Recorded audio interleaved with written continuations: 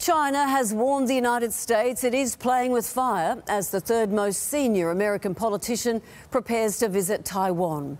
China insists that Taiwan is its territory, even though it has all the practical appearance of an independent democratic nation.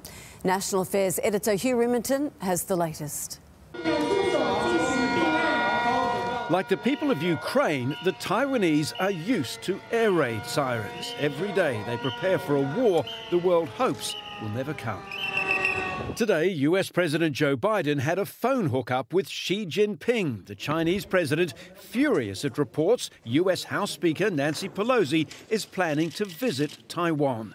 Biden says he couldn't stop her even if he wanted to you do not tell a congressional uh, member where they can or cannot go. China says President Xi warned Biden the U.S. is, quote, playing with fire. Taiwan is China's Taiwan, says the Chinese Defense Ministry spokesman. Pelosi is under quiet pressure to drop it. Let's be very clear. There is no trip that has been announced. But I'm just saying, we, we are talking hypotheticals here. Taiwan trains on constant war footing. Recent exercises were watched up close by Taiwan's president, Tsai Ing-wen. Every day, Taiwanese pilots scramble to face down dozens of incursions by Chinese war jets. These are French-made Mirage fighter jets, but much of Taiwan's defense is dependent on American hardware. 18 billion US dollars under President Trump, more than a billion so far under Biden.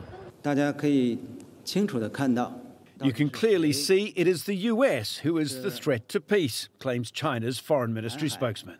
Before Russia went and blew up Ukraine, Taiwan was seen as the next most likely global flashpoint.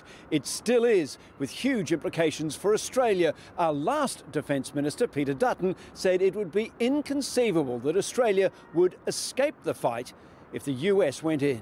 Because if it happens, the Taiwanese will need more than this. Hugh Riminton for 10 News First.